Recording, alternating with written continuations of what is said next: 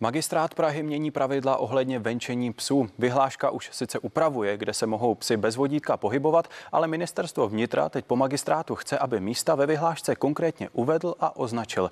Pejskaři v Praze si stěžují, že míst pro volné puštění jejich mazlíčka je málo.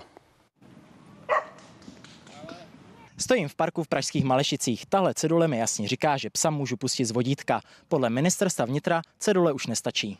V připomínkách nám ministerstvo vnitra sdělilo, že chce, abychom přímo v této vyhlášce ta místa, kde psi mohou volně běhat, vymezili. Buď jmenovitě, anebo mapou. Tady můžeme vidět zrovna místo, kde pejsci můžou běhat bez vodítka.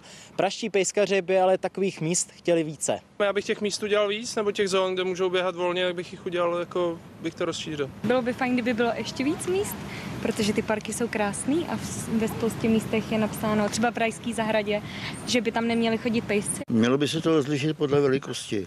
Třeba malý pejskové by mohli klidně všude a velký to už pak záleží na majiteli, že? Podle pražské opozice by na místo vyhlášky fungovala mezilidská domluva. Když je někde dětské hřiště nebo tam běhají děti, tak tam nepustím psa, nebo naopak, když je někde 10 pejskařů, tak tam na just jako nepůjdu s eh, malými dětmi. Prostě vždycky je to o dohodě.